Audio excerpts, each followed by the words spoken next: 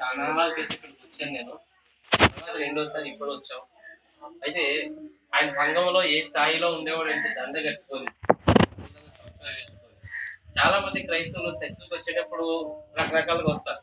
ఆయన చర్చికి వచ్చినప్పుడు మాత్రం మంచి వైట్ షర్ట్ వేసుకొని యాభై వైట్ షర్ట్ కావాలని వేసుకున్నారు ఆయన వైట్ షర్ట్ వేసుకుని చాలా చక్కగా వందంగా నిలబడి బాడీ గార్డ్ చక్కగా నిలబడితే కుర్రోడు సంఘం అంతా రాటంగా ఉన్నట్టు ఆయన పైన ఉండేవాడు. లోపలికి వెళ్ళి కూర్చోవాలని చూసుకునేవాడు. పైన కూర్చొని దండ కట్టుకొని కూర్చొని నిలబడితే మరి ఒక రకంగా ఉండేది. తర్వాత ఆయన ఎంత గొప్ప వ్యక్తి అంటే మరి క్రైస్తవుడు విశ్వాసి ఇలా ఉండాలి అని మాదిరి చూపించిన వ్యక్తి. నేను కసరం కసరంబిల్లి దగ్గరికి వెళ్ళాను. వెళ్ళినప్పుడు నేను తొండంగిలో చిన్న పరిచర్య అయితే అక్కడ గురువారం వెళ్ళేటప్పుడు అక్కడికి వెళ్ళాను. కావాలని ఎందుకు వెళ్ళాను? అసలు ఆలోచన లేదు. ఎలుతులోకి అక్కడ టేప్ రన్ అవుతుంది. బ్రదర్ ఏమో లోపల ఉన్నారని బ్రదర్ ఎలిసే చెప్పారు. ఈయనే అనుకున్నాను నేను. కాదు నేను అన్న తమ్ముడండి అన్నయ్య లోపల ఉన్నారు అన్నారు. వెనక పెట్టి చూస్తే. ఎక్క- ఏం చేస్తానంటే ఇప్పుడే రెడీ అవుతున్నారు రూమ్లో అన్నారు. అంటే ఆయన పని అంతా అయిపోయిన తర్వాత నీట్గా రెడీ అవ్వడం అనేది ఆయన హ్యాబిట్ చక్కగా ఆలోచన తర్వాత అన్ని రెడీ అయిపోయాడు చక్కగా నీ లోపల బయట నుంచున్న పది నిమిషాలు. ఆయన వస్తాడు కదండి. ఈ లోపల అక్కడ వర్తమానం దేవుని ప్రవర్త స్వరాన్ని వినిటుండగా నాకు నేనుగానే పశ్చాత్తాపడి ఏడ్చాను. అక్కడ పరిశుద్ధాత్మిక సన్నిధి అనుభవించడం జరిగింది. ప్రసాద్ గారు వచ్చిన వెంటనే అడిగాను బ్రదర్ మీరు ఇక్కడికి పది నిమిషాలు కూడా చాలా చాలా అనుభవం కలిగి ఉన్నానండి చాలా పరిశుద్ధాత్మ తాకిందండి అని చెప్పడం జరిగింది.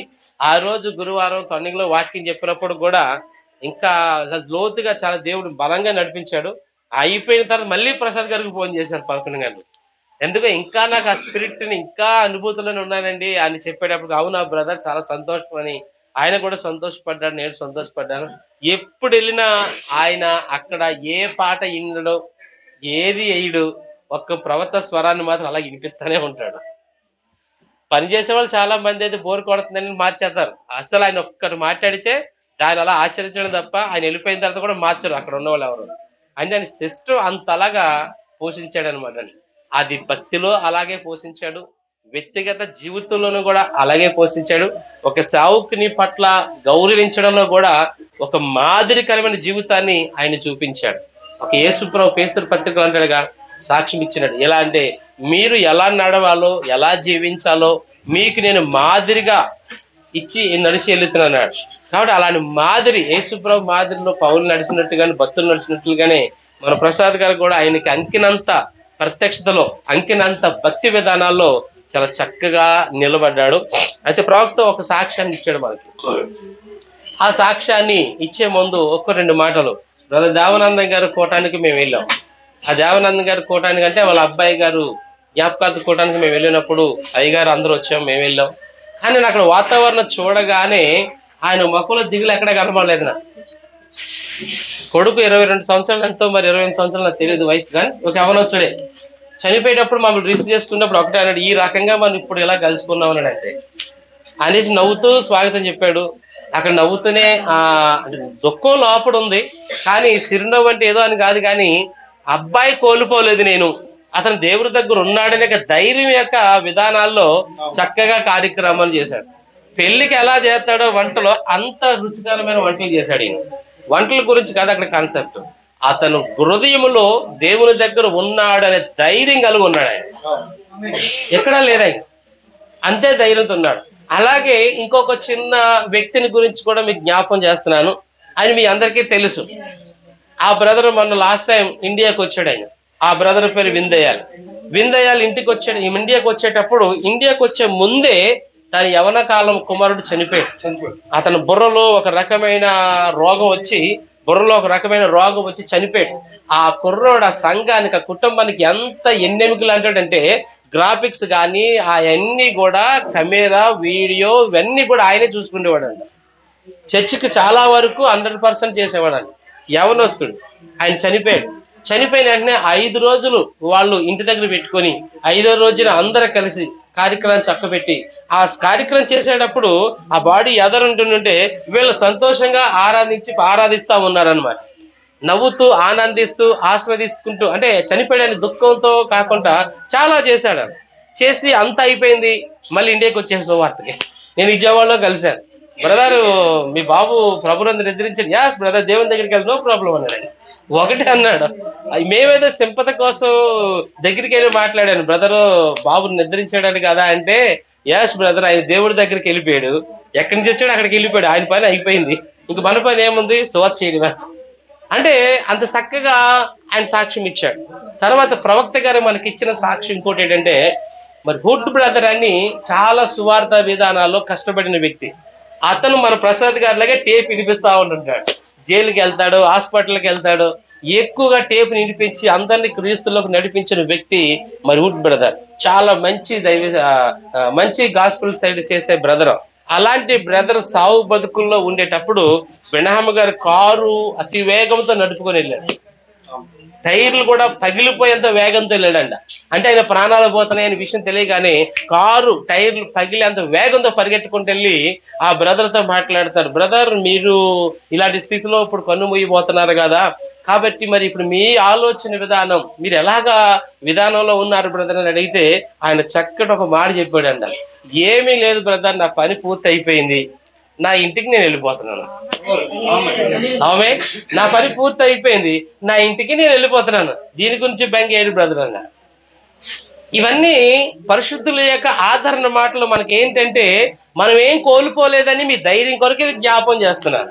రాళ్ళతో స్టెపను కొడుతున్నప్పుడు ఆయన కొంత గడువు ఇవ్వమన్నాడు. నాకు కొంత గడువు ఇవ్వండి అని ఆ గడువులో ఆయన ఏం చేశాడంటే ప్రార్థన చేశాడు.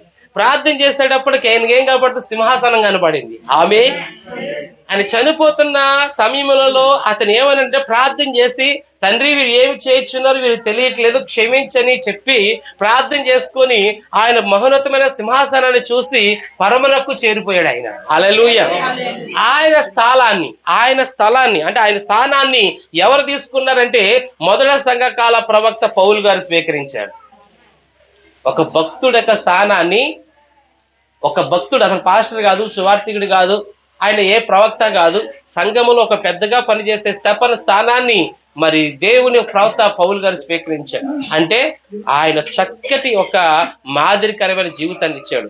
అలాగనే మరి ప్రసాద్ గారు కూడా నేను చెప్పేది ఏంటంటే మా పట్ల నా పట్ల మెయిన్ నేను ఒక ప్రాబ్లం ఇరుక్కున్నాను ఆ ప్రాబ్లం చిన్న ప్రాబ్లం నేను చర్చ్ ముందు ఒక సైట్ కొన్నాను. ఆ సైట్ కొని ఇప్పుడు చెప్పాలి నేను ఖచ్చితంగా అది.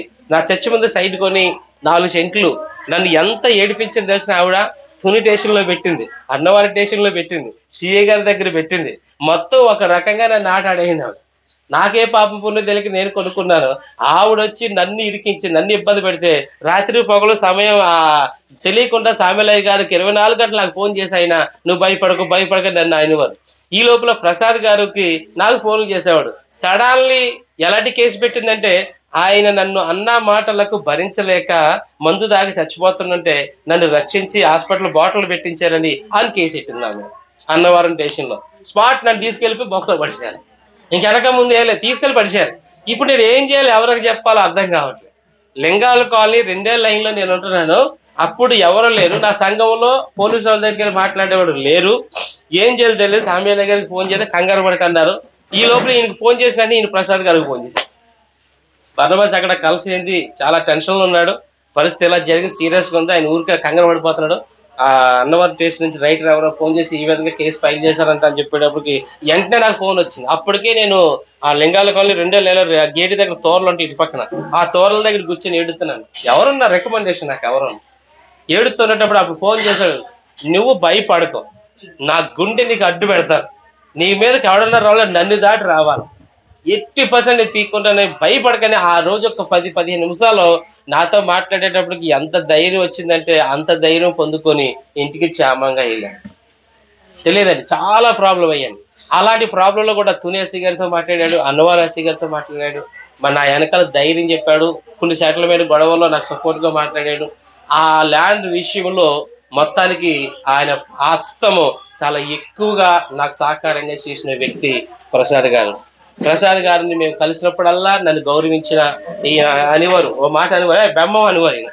బెమ్మం అంటే నేను అనివారిని ఏంటి మిమ్మల్ని అంతవల్ల బెమ్మం బెమ్మని అని అటకారగా అంటున్నారు మీకు కోపం రాదంటే ఆయన దైవ సేవకుడండి. ఆయన ఎలాగన్నా నాకు దీవెన నాకు ఆశీర్వాదం అంతే. ఆయన వెనకాల నేను నిలబడడం తప్ప నేను ఏం మాట్లాడినాను అంటే ప్రియులారా మరి ప్రసాద్ గారు ప్రేమ ఆయన భక్తి ఆయన విధానాలు మరి ఓ పక్కేమో సేవకుడి పట్ల సంఘం పట్ల ఓ పక్కేమో కుటుంబం పట్ల. మన ఇక్కడ ఆయన కార్యక్రమం రోజు నేను వచ్చినప్పుడు ఇక బ్రదర్ ఇంకా చాలా మంది చెప్పారు. నేను విన్నాను. ఏంటంటే మా కుటుంబంలో మాకు ఆ వ్యక్తి ఒక ఎండెమిక లాంటి వాడు. ఏ ప్రాబ్లం అయినా ఆయన ఉంటే సాల్వ్ అయిపోయింది అని చెప్పే వ్యక్తి. అయితే ఆ కుటుంబానికి నేను చివరిచ్చిన మాట ఏంటంటే ఆ కుటుంబానికి కానీ ఆయన భార్యకు కానీ ఆయన బిడ్డలకు కానీ ఆయన బతుకున్నప్పుడు ఆయన బతుకున్నప్పుడు ఏ గౌరవం కలిగి ఉన్నామో ప్రేమ కలిగి ఉన్నామో ఇప్పుడు ఆయన లేకపోయినా ఆయన కుటుంబానికి అదే ఎండెంకి యొక్క సపోర్ట్ ఇంకా ఎక్కువ మనం ఇవ్వాలని నా తరపు నుంచి నేను మాట్లాడుతున్నాను ఆమె ఎందుకంటే కృతజ్ఞత అనేది మనం ఎప్పుడు ఉండాలి చాలా మంది సంఘాల్లో చాలా మంది కుటుంబాల్లో కూడా జరుగుతాయి తప్పు. మనం ఎప్పుడైతే ఆ వ్యక్తి ఉన్నప్పుడు ఎలాగైతే మనం ఉన్నామో ఆయన లేనప్పుడు ఆదరణ మరింత ఎక్కువగా మనం చూపాలి ఆ కుటుంబానికి. కాబట్టి అలా చేసినప్పుడు ఆయన ఎక్కడికి పోలేదు ఆయన మనం చూస్తూనే ఉంటాడు. ఆయన యొక్క ప్రేమ ఆశీర్వాదాలు మనకు ఉంటాయి భక్తుల ఆశీర్వాదాలు మనకు ఉన్నాయి. మరి ఆ కుటుంబం పట్ల ఆ ప్రసాద్ గారి ప్రేమను బట్టి మేము ఎప్పుడూ ప్రార్థన చేస్తా ఆ కుటుంబం బాగుండాలని నేను ప్రార్థన చేస్తా ఉన్నాను. కాబట్టి దేవుడు ఆ కుటుంబానికి వాళ్ళ బిడ్డలకు దేవుడు భవిష్యత్తు ఇచ్చిన గాక. మరి ఎలిషా గారు తర్వాత పాత్ర ఆయనే. మరి ఆయనకి ఆ జ్ఞానం ఇచ్చి దేవుడు ఆయన జ్ఞానం ఇచ్చి ఈ కుటుంబాన్ని ఆయన లేని లోటుగా దేవుడు ఆయనలో ఉండి ఆయన భార్యలో ఉండి ఆయన బిడ్డల్లో ఉండి ఈ యొక్క కార్యక్రమాలంతటిని కూడా ఆయన విడిచిపెట్టిన ఏ క్రమం అయితే ఉన్నదో అదే క్రమం మీరు తప్పిపోవద్దు. ఎప్పుడైతే వ్యక్తి లేడు కాదా అని ఆ క్రమాన్ని మార్చొద్దు. వ్యక్తి మారాడు కానీ ఏది మారదు. అవుమే? కాబట్టి చాలా పరిస్థితులు పౌలు పోయిన తర్వాత ఇంకొక ఆయన వచ్చాడు. అదే క్రమం. ఆయన తర్వాత ఇంకొక ఆయన వచ్చాడు. ఏడు సంఘాకాల్లో క్రమం ఒకటే. అలాగే ప్రసాద్ గారు బతికినప్పుడు ఏ భక్తి చేశారో ఏ క్రమం పాటించారో ఏ టేపుని ఆయన నిన్న వినిపించాడో అదే టేపు అదే భక్తి అదే సహవాసము అదే విధానంలో మీరు వెళ్ళండి దేవుడు మీకు ఎప్పుడు తోడుగా ఉంటాడు. కానీ ప్రసాద్ గారిని మాత్రం ఒక రోజు మనం చూస్తాం. ప్రవక్త అదే అన్నాడు తన భార్యను ఇష్టమైన భార్య చనిపోయింది. అయ్యగారు ఆ రోజు జ్ఞాపం చేశారు లోతుగా. ఆ భార్యను ఆ మహిమలో కాదు ఆయన ఒక స్థలంలోకి వెళ్ళి ఆ స్థలంలో కూర్చొని ఎవరైనా ఆ బాధ ఉంటది. ఆ స్థలంలోకి వెళ్ళిపోయి ఒక కుర్చీలు ఉన్నాయి పార్క్లో పార్క్లో కూర్చున్నాడు ఆ కుర్చీ మీద దొర్లుతా ఉన్నాడు. పిచ్చోడు మాదిరిగా దొర్లుతున్నాడు. కారణం అంటే షారోన్ చనిపోయింది హోప్ చనిపోయింది. పిల్లోడు చూస్తే జోసఫ్ పాల్ పక్క జోసఫ్ ఆ, బిల్లి పాల్ ఉన్నాడు చిన్నోడు. అప్పుడు పిచ్చోడు మాదిరిగా అరుతున్నాడు ఆ స్థలంలో అరుతున్నాడు దొర్లుతున్నాడు. ఏంటంటే కూతురు చనిపోయింది భార్య చనిపోయింది ఏం చేయి తెలియక పిచ్చోడి మాదిరిగా పిచ్చెక్కులోలాగా అరుగుతా ఉంటుందంటే అప్పుడు చిన్న డ్రీమ్లోకి వెళ్ళినట్టుగా వెళ్ళగానే షారోన్ దగ్గరికి వచ్చింది. ఆమె షారోన్ దగ్గరికి వచ్చి ఆ డాడీ అన్నది. నువ్వు నీకు నేను నీకు డాడీ ఏంటి? నీ వయసు ఇరవై రెండు పద్దెనిమిది ఉంటే నాది అలాగనే ఉన్నాయి. ఇద్దరు ఈక్వల్ వయసులో ఉండగా నేను నీకు భార్యని ఎందుకు అవుతా? డాడీ ఎందుకు అవుతాను? అని చెప్పగానే లేదు డాడీ ఇక్కడ అందరు ఇలాగనే ఉంటారు. మమ్మీ క్షేమంగా ఉంది. నేను క్షేమంగా ఉన్నాను. నువ్వు జాగ్రత్తగా ఉండు డాడీ అని. ఆమె ఆ తర్వాత ఆరో ముద్రలు ఆయన పరదేశంలో కొనుక్కోబడ్డాడు. ఆరో డైవర్స్లో భార్యను చూశాడు. ఎంతకు ముందేమో కూతురుని చూశాడు. ఆ తర్వాత మళ్ళీ తనకి ఇష్టమైన తల్లి చనిపోయినప్పుడు ఒక మంచి ఆదరణ. అమ్మ ఈ కాలానికి ఒక ప్రవక్తలను జ్ఞాపం చేశాడు. ఆమెకి ఇష్టమైన పాట పాడే వ్యక్తి బిల్ ఆ బిల్లినే సారీ నెబుల్ని తీసుకొచ్చి పాట పాడించాడు. ఆమె చనిపోయినప్పుడు కూడా బాధపడుతున్నప్పుడు ఆమె పెళ్ళి చేసుకున్న రోజుల్లో ఎలా యవనస్తురాలుగా పెళ్ళి కూతురుగా తయారయ్యిందో ఆ స్థితిలో తన తల్లిని చూపించాడు. అప్పుడు ఆ తల్లి యవనస్తురాలు పెళ్ళి కూతురుగా తయారైనప్పుడు అప్పుడు ఆయన అన్నాడు నా నా తల్లి వధువులో ఉన్నది అని. క్రీస్తు భార్యలో ఉన్నది అని. మరి బ్రహ్మ గారి భార్య ఉన్నది? బనియాహన్ గారు బ్రహ్మ గారు కుమారుడు ఉన్నాడు కుమార్తె ఉన్నది అలాగే బ్రహ్మ గారు తల్లి ఉన్నట్లుగా మనం చూసాం. బ్రహ్మ బోధ విన్న వాళ్ళు అక్కడ మనం చూసాం. ఆమె మరి ఇన్ని ఎవిడెన్స్ ఉండేటప్పుడు మరి ప్రసాద్ గారు శరీరకంగా మనం లేకపోయినా కానీ ఆయన మాత్రం మనకన్నా ఉత్తమమైన స్థానాల్లో ఉన్నాడు. ఆయనతో స్నేహానికి మన నిద్ర పట్టలేదు. ఆయనతో అనుబంధానికి ఆప్యాయతలకి మన కలత ఉంది రోదన ఉంది వేదన ఉంది. అయినాను మన గుండెల్లో దాన్ని ఇముడ్చుకొని సువార్త పక్షంగా క్రమం పక్షంగా బాధ్యతలు తీసుకొని ముందుకెళ్ళాలని నేను ప్రభుపేట మనవి చేస్తున్నాను. మీ వెనకాల మా ప్రార్థనలు ఎప్పుడు ఉంటాయి మా సహకారాలు ఎప్పుడు ఉంటాయి. కాబట్టి వ్యక్తి లేకపోయినా క్రమాన్ని మార్చొద్దు. అదే భక్తిలో అదే శిక్షణలో ప్రయాణం చేయండి. ఆయన కొంచెం ముందెళ్ళాడు వెనకాల మనం వెళ్ళిపోతాం. ఏదో రోజు మనందరం కలుసుకుంటాం. ప్రైజ్లో మీకోసం ఆయన ఎదురు చూస్తున్నాడు సిస్టర్ గారు. మీకు మేము ఇంతకంటే ఏం చేసే చేసేది చేయలేం. ఎందుకంటే ఒక దేవుని సావుకుడిగా నీకు ఒక సహోదరుడిగా మరి మేము ఇచ్చే ఆదరణ ఏంటంటే నీ భర్త ఎక్కడా లేడు. నీ కొరకు ఎదురు చూస్తున్న స్థలంలో ఒక దినాన్ని మీరు వెళ్ళాలి తప్ప ఆయన రాడు. కాబట్టి ఖచ్చితంగా మనం అందరం వెళ్తాం వెళ్ళి ఆయన కోగిలించుకుంటాం. తిరిగి మళ్ళీ ఇదే భూమి మీదకి వెయ్యాల పాలనలోకి వస్తాం. ఆయన భక్తి ఆయన కాపాడింది. ఆయన భక్తి ఆయన ప్రార్థన ఆయన బిడ్డలకు కూడా ఆశీర్వాదకరంగా ఉంటుందని నేను నమ్ముతున్నాను. అబ్రాహం ప్రార్థన ఇసాకు కాపాడింది. ఇసాకు ప్రార్థన యాకోబు కాపాడింది. యాకోబు ప్రార్థన గోత్రకర్తలకు కనపడింది. ఇప్పుడు యేసు ప్రభు ప్రార్థనే మన అందరిని కాపాడింది. కాబట్టి ఇప్పుడు జో మన ప్రసాద్ గారు చేసే భక్తి వృధాగా పోదు. ఎందుకంటే ఆయన భక్తి ఆయన ప్రార్థన బిడ్డలకు భార్యకు ధైర్యాన్ని ఇస్తుందని పూర్తిగా నేను నమ్ముతున్నాను. కాబట్టి మీరు పూర్తిగా ఆయన పట్ల ప్రేమ అనురాగాలు కలిగి ఉండని ఎలిషా గారికి మరీ మరీ చెప్పేది ఏంటంటే మీ అన్నయ్య గారు ఉండేటప్పుడు నువ్వు ఏ వినయంతో ఉన్నావో ఇప్పుడు కూడా అదే వినయం అదే భక్తి అదే క్రమం నువ్వు పెద్ద స్థానంలోకి వచ్చి అవన్నీ నువ్వు పూర్తి చేయాలని బాధ్యత తీసుకోవాలని ప్రభుత్వం ఆలోచిస్తా ఉన్నాను ఎందుకంటే ఎట్టి బస్సులు మర్చిపోకండి. దేవుడు మిమ్మల్ని ఎడవడు ఎడబాయడు. మీరు ఊహించవచ్చు ఎలా జరుగుతుంది అంతా అని ఆయన ఉన్నప్పుడు ఎలా జరిగిందో ఆయన లేకపోయినా అంత గొప్ప స్థాయిలో దేవుడు మిమ్మల్ని ఆశీర్వదిస్తాడు. ఆ దేవుడు ఉన్నాడని నమ్మండి ఆ ప్రసాద్ గారు ఉన్నారని నమ్మండి ఆయన ప్రేమ అనురాగాలు అన్ని కూడా మనం కలిసి పొందుకుంటాం ఒక దిన కలుసుకుంటాం. God bless you. దేవుడు మీరు దీవించిన గాక. నా ఆశీర్వాదాలు దేవుని కుటుంబానికి నిండుగా ఎల్లకాలం సదాకాలం తోడైండును గాక. గాడ్ బ్లెస్ యూ అమ్మ. మరి చెయ్య మాత్రమే విరిగిందనే కబురు వచ్చిన వెంటనే మొట్టమొదటిగా మరి అప్పుడు తన యొక్క కుటుంబముతో కాకినాడ వెళ్ళారు. అలాగే అక్కడ నెహిమియా గారు కూడా అక్కడే ఉన్నారు. కాకినాడలో ఉన్నారు.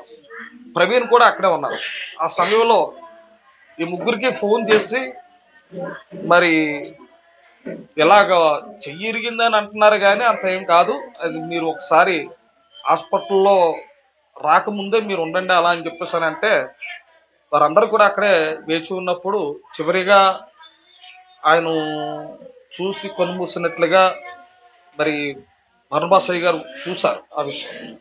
అయితే ఆయన ఎవరికైనా సహాయం చేయాలి అలా అని చెప్పేసి అలా అంటే మాటే కాదు ఏ విధమైనటువంటి మీరు భయపడవద్దు నేనున్నాను మీకు ఇది సమస్య ఏమి కాదు అని ధైర్యం చెప్పే వ్యక్తి అది క్రియగా చూపించే వ్యక్తి. చాలా మంది మీరు భయపడొద్దు భయపడొద్దు బాధపడొద్దు అలా అని చెప్తారు కానీ ఏమి చేయలేరు. కానీ ఈయను చేసే వ్యక్తి నిజముగా ఆ విధంగా ఆ ధైర్యపరిచే వ్యక్తి.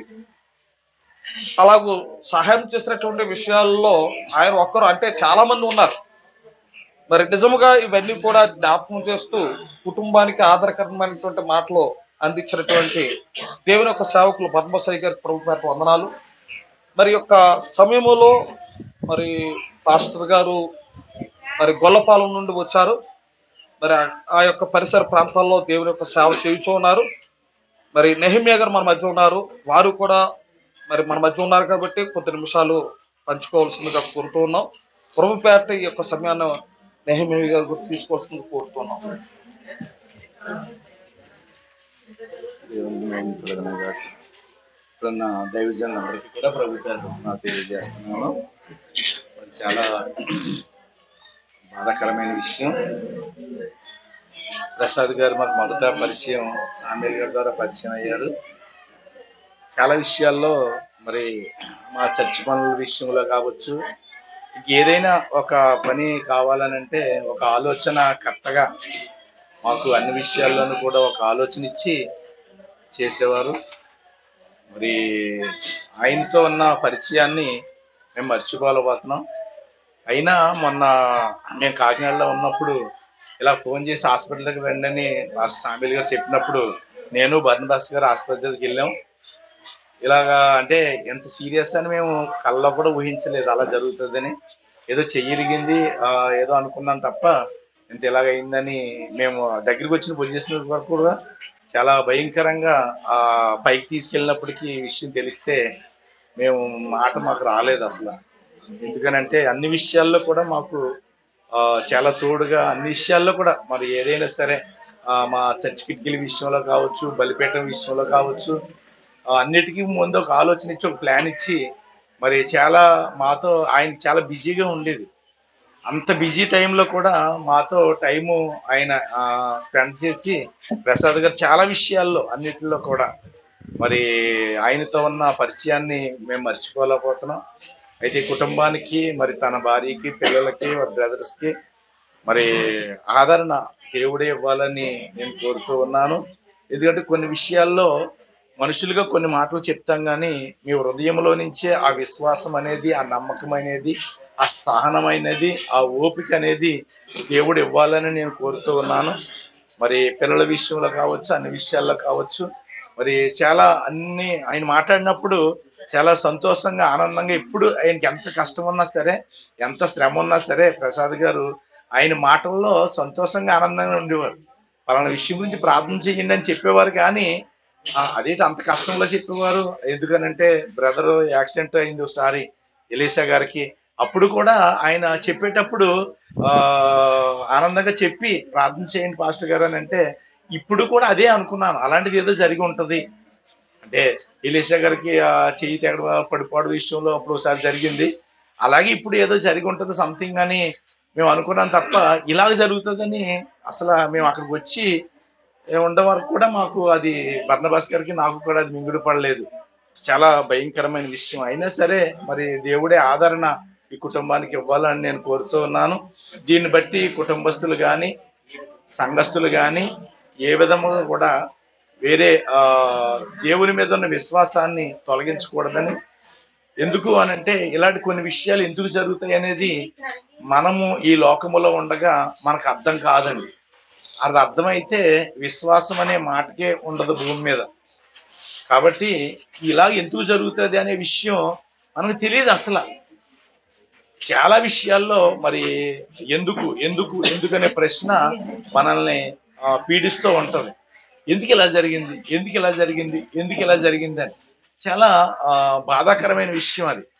అది తెలియదు మనకి ఇంకా ఎందుకంటే ఒక కొబ్బరి చెట్టు ఉన్నది అని అంటే ఆ కాయలు ఉన్నాయి అని అంటే అది పిందుగా రాలి కొన్ని ఉంటాయి మధ్యలో రాలిపోయి కొన్ని ఉంటాయి. పండుగ ఆ, కాయ అయిన తర్వాత రాయలేది కొన్ని ఉంటుంది. ఎందుకంటే ప్రకృతిని బట్టి మనం నేర్చుకుంటాం చాలా విషయాలు. అలాగే కొన్ని కాయలు ఈ భూమి మీదకి వచ్చినప్పుడు పిందులుగా రాలిపోయి కొన్ని ఉంటాయి మధ్యలో రాలిపోయి కొన్ని ఉంటాయి. పండి మొగ్గి రాలిన కాయలు కొన్ని ఉంటాయి. మరి దేవుడు ఏది చాలా మంది చెప్తూ ఉంటారు కొంతమంది ఆ తోట యజమాని ఆ తోటలోకి వెళ్ళినప్పుడు ఏ పువ్వు అయితే అతనికి ఇష్టంగా ఉందో ఆ పువ్వు ముందు తీసుకున్నాడని. మరి ప్రసాద్ గారి విషయంలో కూడా మరి ఆ తనకి ఇష్టమని ముందుగానే దేవుడు పిలిచాడు. మరి ఆ ఈ విషయంలో ఎవరు కూడా దుఃఖపడకూడదని మరి ఆదరించబడాలని దేవుని పేరట మీకు మనవి చేస్తూ ఉన్నాను. ఎందుకు అని అంటే కొన్ని విషయాల్లో మరి ఇతరులు కూడా చాలా కృంగిపోతుంటారు దేవుని విషయంలో కూడా చాలా మంది ఏమంటే వెనకబడిపోతూ ఉంటారు. యోబు విషయంలో కూడా మీ అందరికీ తెలుసు. యోబు వీధిలో వాళ్ళందరూ కూడా మరి కృంగిపోయి ఉండొచ్చు. యోబు సంఘస్థులందరూ కూడా కృంగిపోయి ఉండొచ్చు.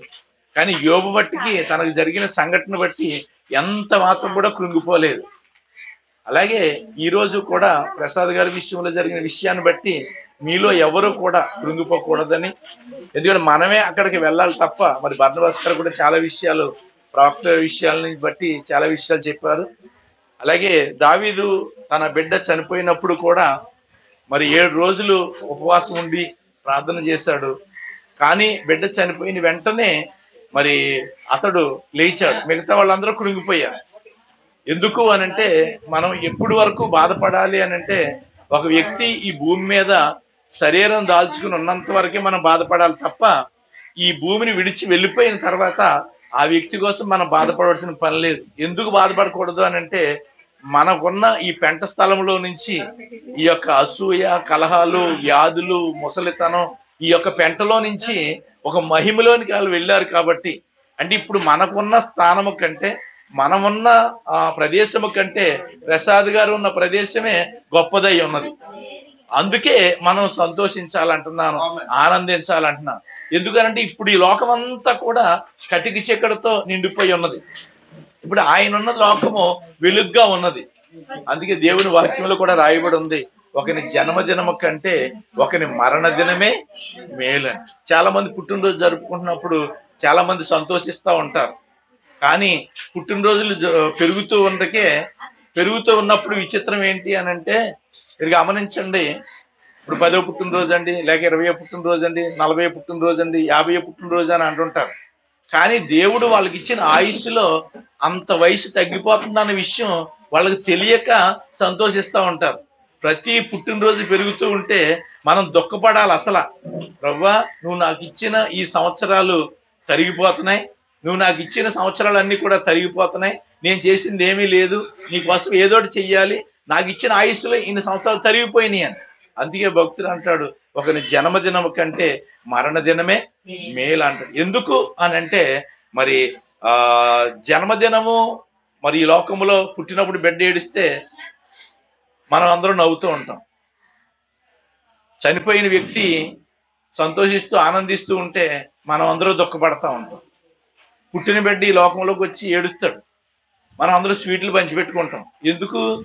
వాడికి ఈ లోకంలోకి వచ్చింది వచ్చినప్పటికి ఈ పాపం అంతా అతను సోకి ఈ కాలం అనే ఈ, వచ్చినప్పుడు మీరు గమనించండి అతనికి ముందు సంతోషంగా ఉంది దేవుడి దగ్గర ఉన్నాడు ఆనందంగా ఉంది. ఇప్పుడు ఈ భూమి మీదకి వచ్చాడు.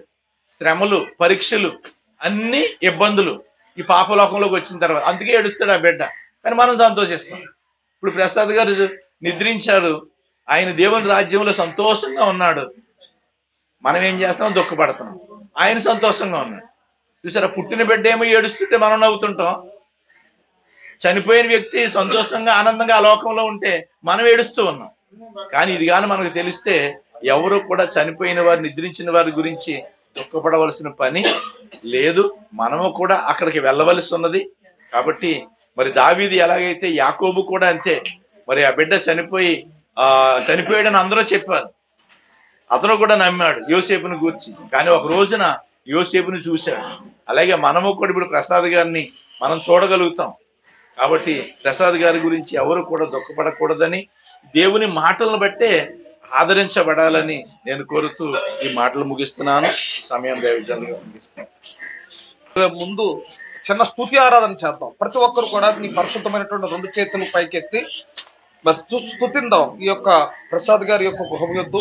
యొద్ద మరి తన యొక్క భార్య బిడ్డల కొరకు అలాగే తల్లి కొరకు సోదరుడు కొరకు సహోదరి కొరకు మరి బంధువుల కొరకు మనం చేతులు ఎత్తి ప్రార్థిద్దాం స్తుతిద్దాం హాలెలూయా హాలెలూయా హాలెలూయా హాలెలూయా. ప్రతి ఒక్కరూ కూడా మౌనంగా ఉండవద్దు. దేవుని స్థుతించి ఈ యొక్క బిడ్డలు ఆదరణ పొందులాగున మనం ప్రార్థన చేస్తాం హాలెలూయా హాలెలూయా. స్తోత్రము స్తోత్రము స్తోత్రము స్తోత్రము. స్తోత్రము ప్రభు. నిన్న నేడు నిరంతరము ఒకే రీతిగా ఉన్నటువంటి మా గొప్ప తండ్రి నాయన నీకే స్థుతులు నాయన. స్తోత్రము ప్రభు స్థుతి నాయన. స్తోత్రము స్తోత్రము స్తోత్రము స్తోత్రము.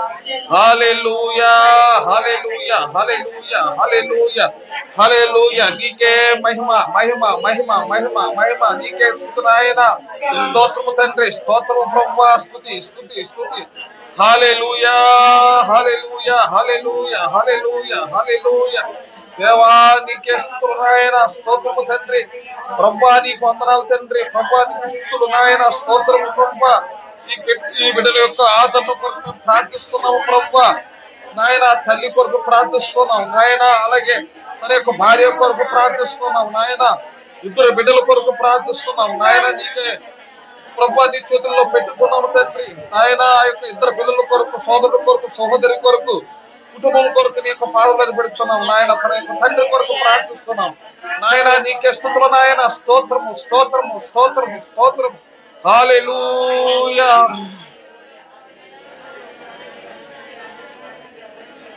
ఆవలి గట్టుకునేను చేరే సమయం. పునాదులు గల పట్టణము చేరే తరుణం. ఆవలి గట్టుకునేము చేరే సమయం. పునాదులు గల పట్టణము చేరే తరుణం. పరలోక ప్రియునితో కలసీనా. పరలోక ప్రియునితో కలసి నేను హత్తుకొనే సమయం ప్రియుని కొనియాడే తరుణం. హత్తుకొనే సమయం ప్రియుని కొనియాడే తరుణం. ఆవలి గట్టుకునేను చేరే సమయం. ఓనాదులు గల పట్టణము చేరే తరుణం. నా ప్రియులను నేను కలుసుకొందును. సమాధాన సంతోషాలతో సంధింతును. నా ప్రియులను నేను కలుసుకుందును.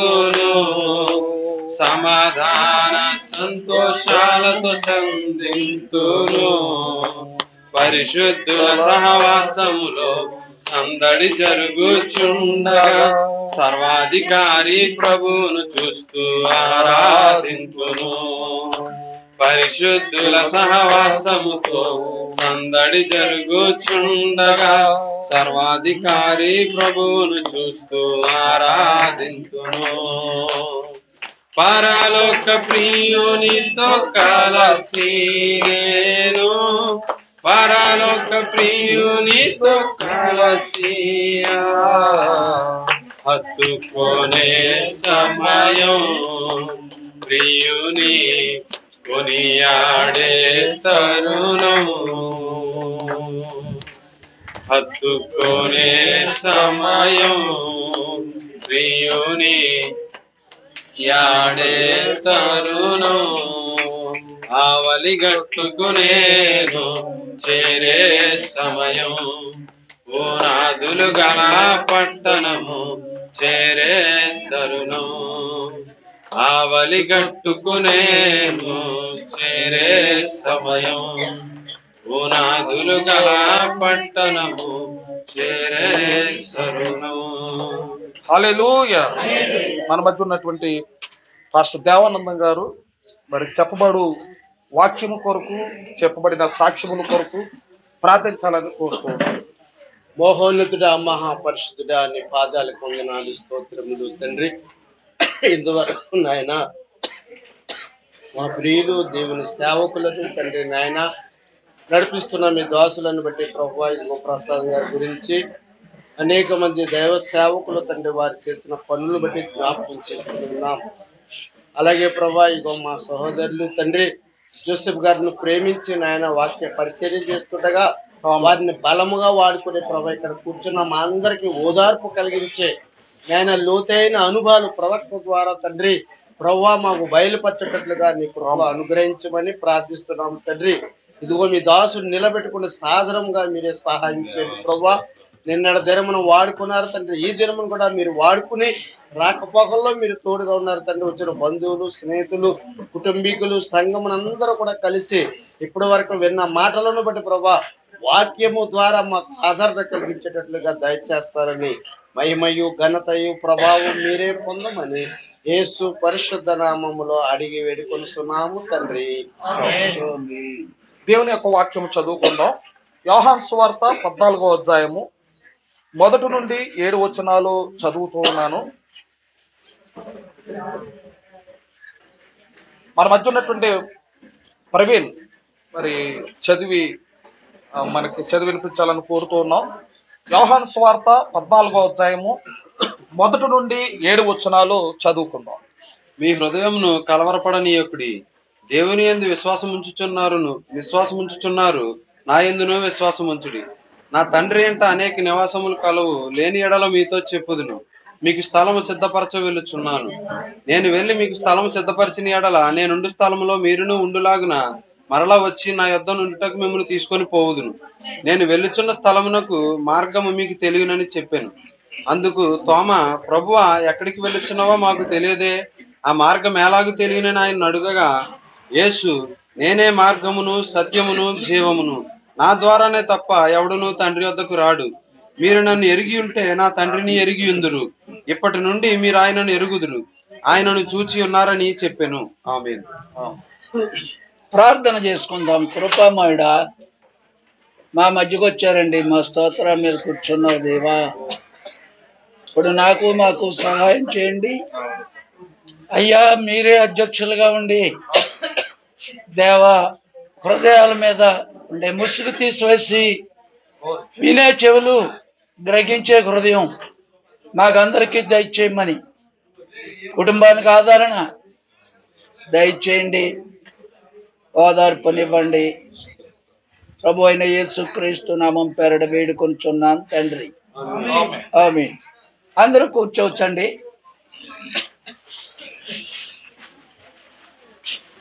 మీ వాచిస్తారు. నిన్న అలాగే నా వాచి బ్యాటరీ అయిపోయింది. అందరినీ బాధపడేశాను అంటే నా బాధ నాకు పోలేదు. అన్ని బాగా జరిగాయి ఏంటి? అదే. అదే అయినా. ప్రభువునందు ప్రియమైనటువంటి మరి ఇక్కడ చాలా మంది ఆ దేవుని యొక్క పరిచయలో ఉన్నటువంటి ఆ బాగా మాట్లాడేటటువంటి వారు అందరూ కూడా చాలా పోటాపోటీగా మాట్లాడేటటువంటి వారు ఉన్నారు. అయినా కానీ మరి వయసు పెద్దదైనందువలన మరి చివరిని మరి మీరు మాట్లాడండి. ఒక పది నిమిషాలని అనుకున్నా బాబు సామేల్ గారు లేదు. మీరు ఎలా మాట్లాడతారా మాట్లాడండి అన్నారు. అయితే ఇప్పుడు మనము ఇస్రాయలీలు చే స్తోత్రముల మీద నేను ఆసీనుడనై ఉన్నానని ప్రభువు చెప్పారు మనకు. ఇప్పుడు మనం చేసినటువంటి స్థుతి ఆరాధనకి మనం కుర్చీల మీద కూర్చున్నాం. పిల్లలు కొంతమంది కింద కూర్చున్నారు. దేవుడు ఆకాశము నా సింహాసనం అన్నాడు. భూమి నా పాద పీఠము అన్నాడు. కాబట్టి దేవుడు పాదం ఇక్కడ పెట్టాడు. ఆమె ఆయన సింహాసంలో కూర్చున్నాడు. ఆయన మనం చూడలేం కళ్ళతో. సువార్త చేయువాని పాదములంటే సువార్త ప్రభు అయిన యేసు క్రీస్తు యొక్క శుభవార్త. కాబట్టి స్థలము ఎంతవరకు? కొంతవరకు ఆదరణ. సమాజ కార్యక్రమం అనేది జరిగింది. ఇప్పుడు ఏసై వచ్చాడు కాబట్టి ఆయనే ఓదార్పిస్తారు మనం ఇచ్చి ఓదార్పులు మనం చేయాలి. మంచిదే. చాలా మంచి మాటలు. మరి ఇక్కడ చెప్పినటువంటి వాళ్ళందరూ కూడా చాలా మంచి మాటలు చెప్పారు. ఇందులో అందరూ చెప్పినవి మంచియే చాలా బాగున్నాయి. బ్రదరు గొల్పాల నుంచి వచ్చినటువంటి ఎంఏ గారు చెప్పిన దాంట్లో నాకు చాలా ప్రత్యేకమైనటువంటిది. నేను ఎప్పుడు కూడా నా మనసులో ఉందో ఆ పాయింట్ బ్రదరు ఎక్కువసేపు మాట్లాడలేదు కానీ ఆయన అక్కర్లేదు. ఒక మనిషి నిలబడి మాట్లాడేటప్పుడు ఆ అనుభవంలో ఒక పాయింట్ మన జీవితంలో ఉన్న దానికి యాడ్ అవుతుంది మనకి. ఆయన బర్త్డే గురించి చెప్పారు. అసలు బర్త్డే అంటే నేను ఎప్పుడు పుట్టానో నాకు తెలియదు కానీ డెబ్బై సంవత్సరాలు నాకు చదువుకోని వాళ్ళు మా అమ్మ నాన్నను. ఏడు దసరాకు పుట్టానంటే మా పిల్లలందరూ బట్టలు తెచ్చి ఏంటి చేస్తున్నారు? పిల్లలు ఎవరిది బర్త్డే అంటే మీదేంటి అంటారు అక్టోబర్ నెలలో. రీలర్ ఆయన చెప్పారు మరణ దినము మేలు. నిజంగా ఎక్సలెంట్. కొంచెం వయసు అనేటటువంటిది ఎప్పుడు కూడా మిగతా వాళ్ళు మాట్లాడి మా మంచిగానే మాట్లాడారు కానీ ఆయన మాట్లాడినటువంటి దాంట్లో ఆహా ఎక్సలెంట్ అనుకున్నాను నేను. అంటే బర్త్డేలు చేసే వాళ్ళని పాపం అప్పుడు ఆయన అన్నట్టే వీళ్ళకి ఇంకా ఏం తెలియదు అసలు. అసలు నా బట్టలు బట్టలు ఏ కొనుక్కోను నేను. దానికి కొత్త బట్టలు తెచ్చి అక్కడ కేక్ పెట్టి ఇదంతా చేస్తుంటే పోలే చేసుకొని వాళ్ళు ఇష్టం. వీళ్ళని ఇలాగే సంతోషపెట్టాలా అనుకుని వాళ్ళు చేసుకొని ఇస్తాను నేను. కానీ ఆయన ఇక్కడ మాట్లాడినటువంటి దాన్ని చూస్తే సమాధి వచ్చి కొలది ఈ రోజు నుంచి ఇంకో రోజుకి దగ్గరికి వెళ్తున్నాం. ఇంకో రోజుకి ఇంకో ఇంకో మెట్టు నడుస్తున్నావు ఎప్పుడో మనకు తెలియదు అతను ఎప్పుడో మనకు తెలియదు అసలు అనుకున్నాం ఎప్పుడైనా జన్మలో? అసలు మైండ్ సెట్ లేదు ఎవరికైనా. కారణం ఏంటి? ఇప్పుడు పడుకున్న మంచం మీద చూస్తే నా ఇల్లు కిటికీ వడ్రం అక్కడ వేసినటువంటి ఇనుప చట్రం నా డోరు. పోనీ ఆలయంలోకి వెళ్ళాననుకో ఆయన అన్నట్లుగా వేదిక. అసలు ఎక్కడ అతను చేయలేకుండా ఉంది. ఈ ఆలయంలో వెళ్తే ఉంది. రౌద్రపూడి వెళ్తే ఉంది. ఎక్కడికి వెళ్ళినా అతను చేసిన హ్యాండ్ వర్క్ ఉంది. అక్కడ దేవుడు మనిషిని ఒక టార్గెట్ ఉంటుంది. అది మనం చెప్పలేం. క్షామకాలంలో మీతో మాట్లాడాను. నా మాట విననని నీవన్నావు అని ఇర్మియ ప్రవక్త చెప్తా ఉన్నాడు. క్షేమకాలం అంటే అన్నీ ఉన్నాయి. ఇప్పుడు బాగానే ఉన్నాం. బయటికి వెళ్ళిన తర్వాత నువ్వు వెళ్ళేటప్పుడు రోడ్డు మీద నువ్వు ఇంటికి వెళ్ళే లోపల నువ్వు ఎలా ఉంటావో ఊహించినటువంటి పరిణామాలు జరుగుతున్నాయి కదా లోకంలో. పోనీ యాక్సిడెంట్లు ఎలా ఉంచండి? ఎవడన్నా తెలియకుండా వచ్చి గుద్దాడైనది ఎలా ఉంచండి? ఒక రూపంలో కోవిడ్ అనేటటువంటి దెయ్యం వచ్చి ఎంతో మంది నీడ్చిపోయింది రెండు తరంగాలు. మూడోది ఇప్పుడు దాని రంగు మార్చుకొని ఒమిక్రాన్. అదే రకరకాలుగా మళ్ళీ ఇంకో చెప్పు. అమెరికాలో లక్షలు మన ఇండియాలో వేలు. అమెరికాలో లక్షలు ఎందుకు వస్తున్నాయి? ప్రవక్త అరవై ఆరు యాభై తొమ్మిదో సంవత్సరంలో నలభై నాలుగు ఇరవై ఒకటి అరవై సంవత్సరాల కిందట అమెరికా దేశమా? నీవు నాశనం అయ్యావు అన్నాడు. అవుతావు కాదు. నీవు ఇప్పుడు బాగానే ఉన్నావు అని చెప్పాడు. అప్పుడేమీ వాళ్ళకి తెలీదు. కానీ ఇప్పుడు అమెరికా పతనం అయిపోయి చైనా పైకి మమ్మల్ని కింద పెట్టి నువ్వు పైకి వెళ్ళిపోదామని నీవే ఇచ్చావు ఈ తెగులు అంటున్నాడు అమెరికా వాడు చైనా మీద చైనా వాడు అమెరికా మీద. రీలారా దేశ పరిస్థితులు బాగోలేదు.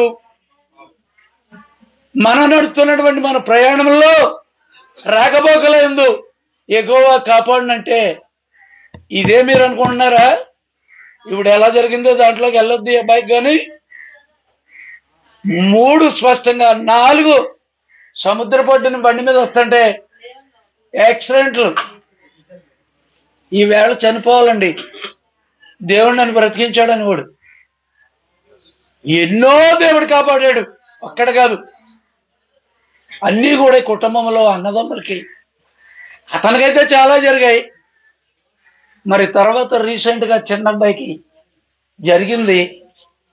ప్రియులారా ఏదేమైనా సజీవులైనటువంటి మనం ఇప్పుడు ఏం చేయాలంటే అతను ఉన్నట్టుగానే ఎలాగైతే అబ్బాయి బర్నబాస్ గారు చెప్పారో అదే విధముగా ప్రేమించి పలకరించి కష్ట సుఖాల్లో వాళ్ళతో కలిసి ఉండి మనం చేసేది ఏంటంటే ప్రార్థన. దేవుని నాసిక రంధ్రాలకి ఇంపైన సువాసనగా ఆయన దగ్గరికి వెళ్ళినప్పుడు ఓ పాస్టర్ గారు చేసి పని పాస్టర్ చేస్తాడు. సంఘ పెద్దగా చేసేవాడు అతను చేస్తాడు. విశ్వాసులుగా చేసేది ఇక్కడ కూర్చున్నటువంటి వీళ్ళందరూ కూడా మరి సమయం చాలదు కానీ బాబు సమర్పణ ఇందాక బాల్యం దగ్గర నుంచి కొంత చెప్పుకొచ్చాడు. మరి మీలో ఎవరైనా ఇతనిలాగా చెప్పాలనుకుంటే చెప్పండి అని చెప్తారనుకున్నాను బాబుకి సామేల్ గారికి. ప్రియులారా అయినా సమయం లేదు కాబట్టి మరి అబ్బాయి అయినా చక్కగా నిలబడి చాలా ధైర్యంగా వచ్చాడు. మరి ఇటువైపు ఒకరు ఇటువైపు ఒకరు. సత్యానందం గారు చిన్నప్పటి నుంచి మేము ఉన్నాం అని చెప్పినప్పుడు నిజమే సత్యానందం గారు ఏ మాట అన్నా ప్ర- చాలా మట్టుకు ప్రతి ఒక్కరు అయ్యగారు ఎలాగన్నారండి? ఇలా జరిగిపోయింది. అయితే ఇప్పుడు నువ్వు గొప్పవాడు అవుతావు అనేటటువంటి మాట. అది జరిగింది అతని జీవితంలో. ప్రియులారా ఇప్పుడు దేవుని వాక్యము నుండి మీ హృదయమును కలవరపడనీయకుడి దేవుని ఎందు విశ్వాసముంచుతున్నారు నా ఎందును విశ్వాసముంచుడి. నా తండ్రి ఇంట అనేక నివాసములు కలవవు లేని ఎడల మీతో చెప్పుదును. మీకు స్థలము సిద్ధపరచ వెళ్ళుచున్నాను. వెళ్ళుచున్నాను. నేను వెళ్ళి ఆ. మీకు స్థలము సిద్ధపరిచిన పరచిన ఎడల నేనుండు స్థలములో ఆ, మీరును ఉండులాగున మరలా వచ్చి. నా యొద్ద నుండుటకు మిమ్మును మిమ్మును తీసుకుని పోవుదును. హల్లెలూయా. ఇప్పుడు నేను మీకంటే ముందు వెళ్తున్నానని చెప్పారు. మరలా వచ్చి మిమ్మల్ని అందరినీ తీసుకుని వెళ్తానని చెప్పారు కదా ఆయన? ఇప్పుడు ప్రసాదం పుట్టించినవారు జన్మనిచ్చిన ఆయనే. ఈ మాట చెప్పాడు. నేను మరలా వస్తానన్నాడు ఆయన. అయితే ఎందుకని ప్రశ్నించడానికి మట్టి ముద్ద కుమ్మరోడితో నన్ను పిడతగా చేయి నన్ను కూజాగా చేయి నన్ను గెంజువర్చుకునే దాకగా చెయ్యి. అంటదా? కుమ్మరి వాని ఇష్టం. ప్రియులరా కుమ్మరి మట్టి ముద్ద తీశాడు. ఒక్కో తల్లిదండ్రుల కడుపులో నుంచి ఆయన ఒక్కో పని మనకి ఇచ్చాడు. చేశాడు. ప్రియులరా శరీర సంబంధంగా మాంగా పట్టితను ఆ అద్దాలు దాంట్లో పెట్టినప్పుడు ఎవరు దూరం నుంచి చూశారు కానీ ఆ అద్దాలది నువ్వు పైకి లేగల లాగి వరకు విడిచిపెట్టలేదు కొడుకు గురించి కూడా అలాగే ఏడ్చాడో లేదో నాకు తెలీదు. కాసేపుడు దుఃఖం వచ్చేది కావాలి. ఇలగిలి గిలిగిలిగిలి ఊగిపోయేవాడు ఏడ్చేవాడు. కాసేపుడికి అలా ఉండేది. కాసేపుడికి అలా ఉండేది. మళ్ళీ కాసేపుడికి ఊగిపోయాడు. అసలు కొడుకు దగ్గర ఎలాగున్నాడో ఏంటో నాకు తెలియదు కానీ చెల్లెలు కొడుకు ప్రియులరా శరీరము అతనికి ఎలాగుంది? భార్యకి ఎలా ఉంటుంది? తల్లికి కడుపు కోత ఎట్లా ఉంటుంది? తండ్రికి ఎట్లా ఉంటుంది? అదే మన జీవితంలో వెంటనే నా రిబకాకి లేకపోతే బిల్లీ పాల్కి జరిగితే ఎలాగుండను ప్రభు అని ప్రార్థన చేస్తున్నాడు ఆయన. ఆయన పిల్లల్ని జ్ఞాపకం తెచ్చుకుంటున్నాడు అదే నా కుటుంబంలో జరిగినట్లుగా మనం ఆ భావనలు మనకు వస్తేనే నువ్వు ప్రార్థించగలవు నువ్వు ప్రార్థించండి నేను ఎంతమంది కేకలేసినా పొలి కేకలు అవుతాయి నువ్వు బయటికి వెళ్ళాక. ప్రియులారా అందుచేత దేవుడు ఇక్కడ చెప్తున్నాడు. ఆయన్ని పుట్టించినటువంటి ఆయనే చెప్తున్నాడు నేను కాదు. భూమి ఆకాశములు గతించును గాని నా మాటలు ఏమాత్రమో గతించవు. నేను ముందుగా వెళ్తానని అన్నాడు ఆయన పుట్టించిన ఆ అబ్బాయిని పుట్టించిన వాళ్ళ ఇష్టమేటి? ప్రసాద్ నువ్వు పుట్టమని చెప్పారు వాళ్ళు. వాళ్ళ కడుపులో ఆ మట్టి ముద్దని ఎందుకైతే ఆయన నిర్ణయించుకున్నాడో ఎంతకాలం భూమి మీద ఉండాలని అవన్నీ కూడా ముందుగా దేవుడు తెలుసు. కానీ మీకు ముందుగా నేను వెళ్తున్నాను. ఎందుకు? స్థలము సిద్ధపరచడానికి.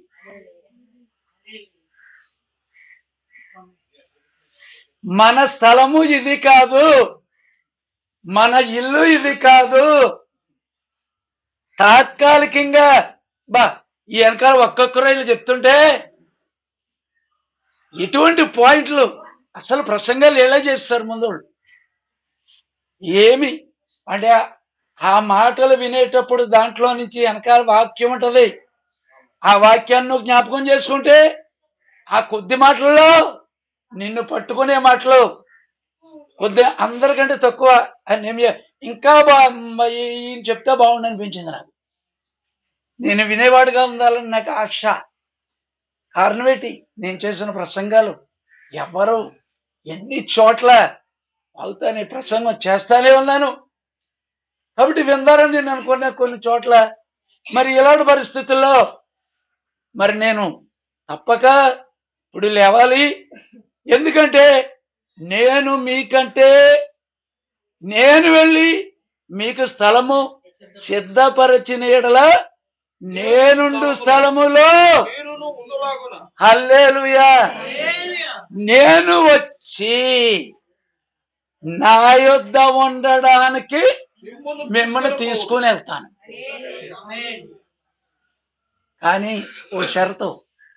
ఇదే అధ్యాయము పక్కన ఉన్నటువంటి పదిహేను అధ్యాయములో ప్రియులరా ఏడో వచనములో దేవుడు తీసుకెళ్తానంటున్నాడు పర్వాలేదని మన ఇష్టానుసారంగా టైం ఆయనకి ఇవ్వకుండా డబ్బు నాకు ఉందని ఇష్టానుసారంగా నేను అందగాన్ని నేను మాటగారిని నేను ఇలాగా నాకేంటి అని మనం అనుకుంటే కుదరదు. ఏడో వచ్చిన పదిహేను ఏడులో మీరును మీరును మీ యందు నా మాటలను నిలిచి ఉండిని ఎడల. అవును. మీకేది ఇష్టమో అడుగుడి. హల్లెలూయా. అది మీకు అనుగ్రహింపబడును. ఏదైనా సరే అడగండి అన్నారు. ఏమండి? వాళ్ళు అడిగే స్టేజ్లో లేరు ఏడ్చే స్టేజ్లోనే ఉన్నారు ఇప్పుడు. కానీ మనం అందరం కూడా యేసుక్రీస్తు యొక్క రక్తము సంఘం మీద ప్రోత్స ప్రోక్షించాడు ఆయన. సార్వభౌమాధికారము తన పెండ్లి కుమార్తె భార్యకి ఇచ్చాడు ఆయన. అయ్యా ఇప్పుడు ఓ సంఘ పెద్దవా? ఓ సువార్థికుడివా? ఓ దైవ సేవకుడైన పాస్టర్వా? లేకపోతే శ్రమగారు అని ఉన్నాడు. సంఘ పెద్ద కూడా కాదు. ఆయన సువార్థికుడు కాదు. ఆయన పాస్టర్ గారు కాదు. ఇస్రాయేలీలు వచ్చి ఆరు వందల మంది ఇతను పండించిన పంటను తీసుకుపోదామని దెయ్యము దండయాత్ర చేసి వస్తుంటే పక్కన భార్య ఏడుస్తుంది పిల్లలు ఏడుస్తున్నారు మిడతలు లాగినట్లుగా పట్టుపోతున్నారు దేవుని పిల్లలు. ఏమండి కిటికీలోని చూశాడు? వాళ్ళ దగ్గర ఈటలు ఉన్నాయి బాణాలు ఉన్నాయి కానీ పాస్టర్ కాదే సువార్థకుడు కాదే ఓ సంఘానికి పెద్ద కాదే సమ్మగారి గురించి చిన్నగానే కొన్ని మాటలే ఉన్నాయి బైబిల్లో. అతను ఒక మామూలు లేమెన్ కూర్చున్నటువంటి మీలాంటి మామూలు విశ్వాసే. కానీ ధర్మ సంబంధమైనటువంటి దేవుని ఆత్మ అతని మీదకి వచ్చింది. కిటికీలోంచి ఆరు వందల మంది ఉన్నారు. ఇలా చూశాడు. దేవుని ఆత్మ రాగానే సంసానికి చుట్టూ వేల మంది ఉంటే చేతిలో వాళ్ళ దగ్గర ఈటలు ఉన్నాయి కత్తులు ఉన్నాయి బాణాలు ఉన్నాయి సమస్తము సాధనాలు ఉన్నాయి వాళ్ళకి. యుద్ధ వీరులు. సంసోను చేతిలో ఏమీ లేదు. ఓడగొట్టిన మంచం కోళ్ళగా ఉన్నాడు. ఏం చేయాలా? చుట్టూరు కాసేస్తున్నారు గాడిద దవడ ఎముక. చివుకిపోయి చివుకిపోయి పడి ఉన్నదాన్ని దేవుని ఆత్మ తీ అన్నారు అంతే ఆ గాడిద దవడ ఎముక తీసి చల్ చల్ మని కొడుతుంటే ఇలాగ ఎముక వెళ్ళేటప్పటికే పడిపోతున్నాడు. వేల మందిని కొట్టాడు. అక్కడ ఈట ట్యాంకరా? అక్కడ ఏమన్నా తుపాకా? దేవుని యొక్క ఆత్మ శముగారి మీద కూడా సిద్ధపాటు దేవుని యొక్క సిద్ధపాటు. ఏడెనిమిది సంవత్సరాల నుంచి నేను కట్టుకున్న భయము. ఎందుకు నాకు? నేమియా గారు చెప్పిన మాటలు వెంటనే ఏటై నాకు బలం ఇచ్చింది. ఏడెనిమిది సంవత్సరాల నుంచి ప్రభు ఈ మందిరాలు ఎన్ని కట్టాననేది నీ దగ్గర చెప్పడానికి కుదరదు నేను. నా వాక్య వరుసలో ఉన్నావా లేదా అని దేవుడు నన్ను అడుగుతాడు. సమయాల్లోకి సిద్ధపడ్డావా లేదా అని దేవుడు అడుగుతాడు. అయ్యా ఎన్ని బోధలు చేశానన్న సంగతి నాకై పని చేయు. కానీ దేవుడు నాకు ఇచ్చింది ఏదో ఇచ్చాడు. అబ్బాయికి ఇచ్చిన పని ఏంటో ఇచ్చాడు. ప్రతి ఒక్కడికి ఓ టార్గెట్ ఓ గురి ఉంటుంది. కానీ అది ఎప్పుడో నీకు తెలియదు ప్రభు నాకు డెబ్బై సంవత్సరాలు ఇచ్చావు. అధిక బలం అన్నా వాడికి ఎనభై అన్నావు. అరవై ఐదు రాకముందే రెండు మూడు ఏళ్ళంటే ఏడెనిమిది సంవత్సరాల నుంచి. అందుకే నేను సంఘాలకు వెళ్ళి అందరూ నన్ను గౌరవించిన అబ్బాయి నువ్వు పో నువ్వు నడిపించది నువ్వు అక్కడికి వెళ్ళు నువ్వు నడిపించది. పెళ్ళిళ్ళకి పేరెంటాలకి తప్ప సమాధులకి తప్ప సత్యానందం లాగా చప్పుడు సప్పుడు బచ్చం చేసే ఓపుకు పోయింది.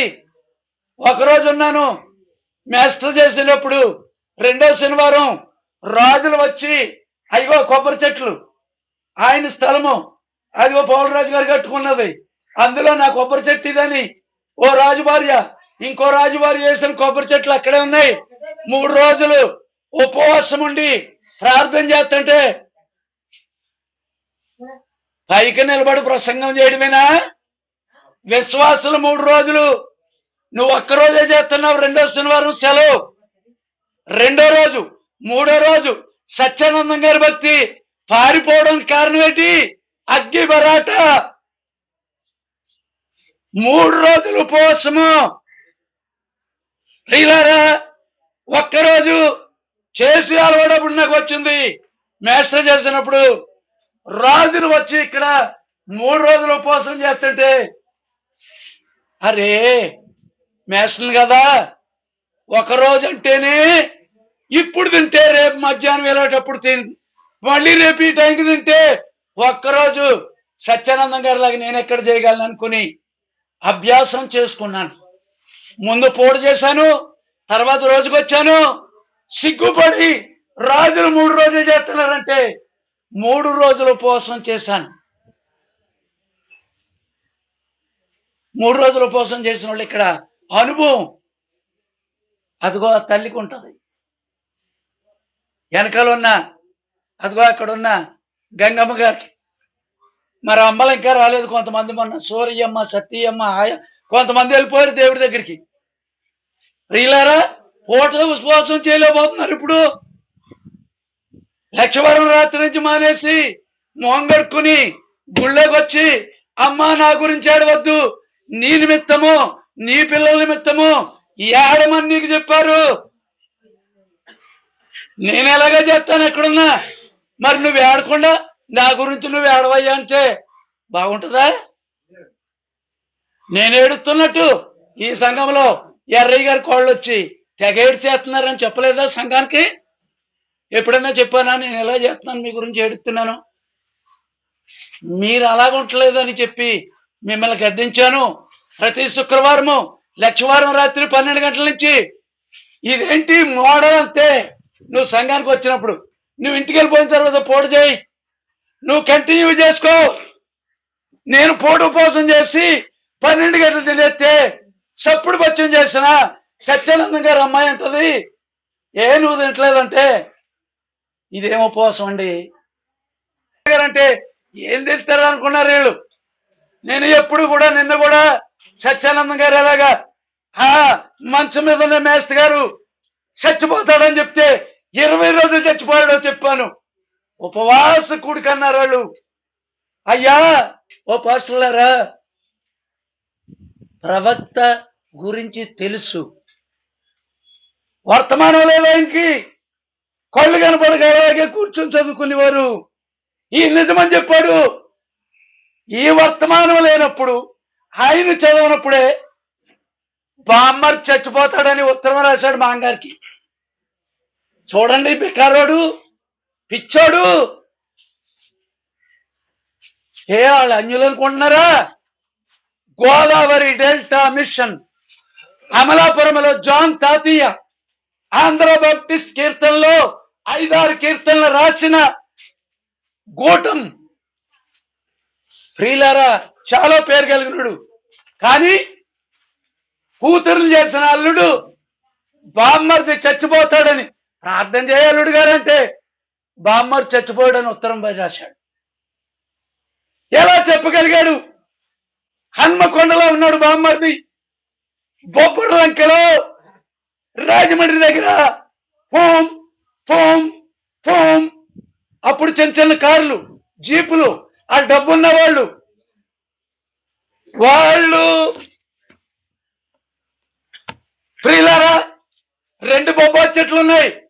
ఇద్దరు కొడుకులు ఒక్కడు కత్తించుకుని వేసాడు చెట్టుని.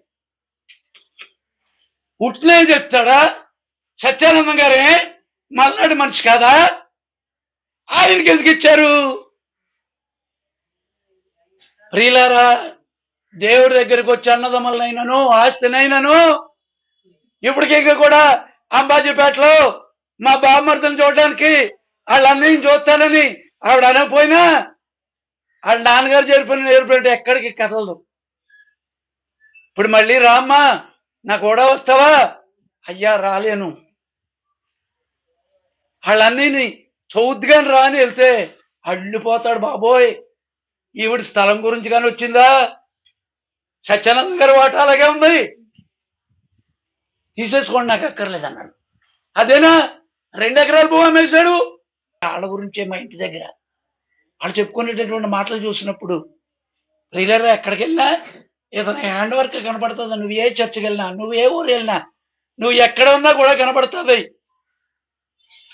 రీలర్ ఇక్కడ? నేను వెళ్ళి మీకు స్థలము సిద్ధపరిచినగా నేనుండు స్థలములో మీరును ఉండులాగున. నేను మరలా వస్తాను ఏడు ఎవరు కనిపెడుతున్నారు? ఆయన వస్తాడని. ఆయన రాకల్లో పెళ్ళి కొడుకు వస్తున్నాడు. మనం ఎవరం పెళ్ళి కూతుళ్ళు.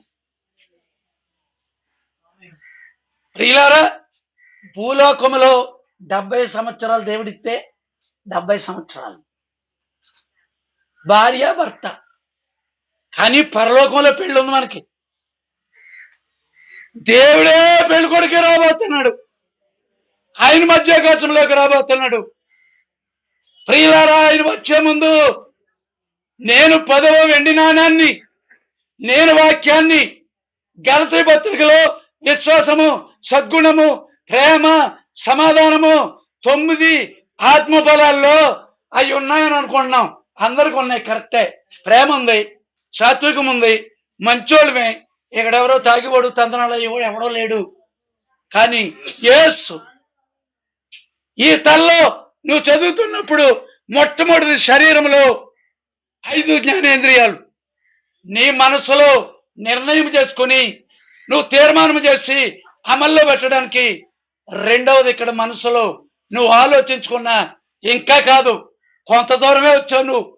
ఇంకా చాలా దూరం ఉందని చెప్తున్నాడు ప్రవక్త. ప్రియులారా ఆలోచించండి. నీ మరణం ఎప్పుడో తెలుసా? సజీవులకి ఇది మేలు అన్నారు. ఏ స్థలంలో ఉండాలని నిర్ణయం ఉందో ఆత్మ అక్కడికి వెళ్ళిపోయింది. అందుకే బ్రతుకున్నప్పుడు ఈడలటోడు ఈడలటోడు అని ఎవరి గురించి మీకు చెప్పొద్దు ఎవరి గురించి చెడు చెప్పొద్దు. దేవుడికి నీకు వ్యక్తిగతంగా లింక్ ఏర్పాటు చేసుకుని ఆయనే మన భర్త. పుట్టించినోడు భర్త అన్నప్పుడు ఏమండి? ఎనిమిదో సంవత్సరంలో మా నాన్న చచ్చిపోయాడు. వాళ్ళు అలాగనుకుంటే మా పిల్లలకి ఏం చెప్తాను తెలుసా? మా నాన్న ఎనిమిదో ఎనిమిదో సంవత్సరంలో మూడో తరగతో రెండో తరగతో చదువుతున్నాను అందరూ నాన్నని పిలిస్తే నేను నాన్నని వెళ్ళడానికి ఏడుపు వచ్చేసింది. కానీ అలాంటి వాళ్ళకి యాకోబు గ్రంథంలో తల్లిదండ్రులు లేనటువంటి వారికి విధవ రాండ్రకు ప్రత్యేకమైన వాగ్దానం ఉన్నది స్పెషల్ వీళ్ళకి. అదే ఆదరణప్పుడు ఆయనే భర్త అంటే భూలోకంలో భర్త ప్రశాంత్ ఆయన. కానీ అసలు భర్త ఎవరు అందరికీ చాలా మంది భర్తలు ఇక్కడ లేని వాళ్ళు ఉన్నారు. ఇప్పుడు వాళ్ళు ఎలాగా? దేవుడే నా భర్తను వచ్చి కూర్చొని పరిచయం చేస్తుంది అక్కడ. షుగర్ బీపీలు ఉన్నా అబ్బా చెమటలు ఎక్కేసి గంగాళాలు ఎలా దింపుతుంటే ఎక్కడి కాలు మీద పడిపోద్దు? జాన్యువరి ఫస్ట్కి ఇప్పుడు ఏంటి ఇలా చేస్తుంది? పక్కకి లాగేస్తే పడుసోళ్ళు తిట్టేద్దాం అనిపించింది నాకు. ఏ అంతమంది పడుసు పిల్లలు ఉన్నారు కదా? గంగాళం ఇలా లాగి? బాబు ఏమాత్రం కనుక జారిపోతే ఏమంది? ఎలా లాగుతుంది ఇవిడ ఒకప్పుడు ముప్పై ఏళ్ళ క్రితం హైదరాబాద్ తీసుకెళ్తున్నారు. మళ్ళీ తిరిగి వస్తుందో లేదో అని అందరూ అనుకున్నారు. రీలర్గా తిరిగి వచ్చింది తిరిగి వచ్చిన తర్వాత కొన్నాళ్ళు భర్తతో కాపురం చేసింది. తర్వాత భర్త వెళ్ళిపోయిన తర్వాత దేవుడా నువ్వే నాకు దిక్కు. పిల్లలు ఉన్నారు వస్తుంది చాలా మంది రక్త సంబంధాలు ఉన్నా నీవే నా శైలము నా కోట నా నిరీక్షణ.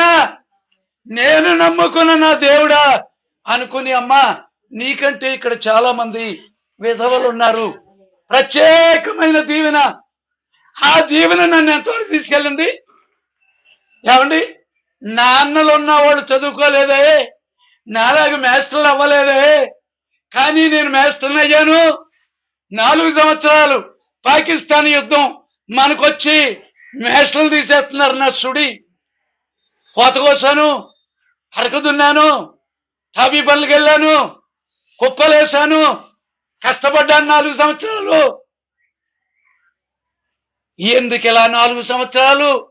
అందరికీ ఉద్యోగాలు ఉన్నాయని ఎప్పుడు అనుకోలేదు. ఓ దేవుడా నాకు ఇలా పెట్టావేంటి? డ్రాయింగ్ మాస్టర్ ఎదురుకుండా వస్తే నిక్కరేసుకుని తినేటటువంటి భోజనం పట్టుకుని వెళ్తుంటే ఆ మేస్టర్ గారు నా శిష్యుడు వస్తున్నారు. సిగ్గుపడతాడేమో అని చాటుగా వెళ్ళే పరిస్థితులు. మా మేస్టర్ గారు సలాం చేద్దామంటే అయ్యో టీచర్ ట్రైనింగ్ అయ్యి క్యారేజ్ పట్టుకుని కూలి పనికి వెళ్తున్నాడు. అయ్యా నెల ఆరు నెల సంవత్సరమా? మూడున్నర నాలుగు సంవత్సరములు. నీ జీవితంలో నీకు వచ్చిన కష్టము నీ పరలోకానికి తీసుకెళ్తుంది. ఇప్పుడు నేను ఎగిరి తీయడానికి కారణం ఏంటి?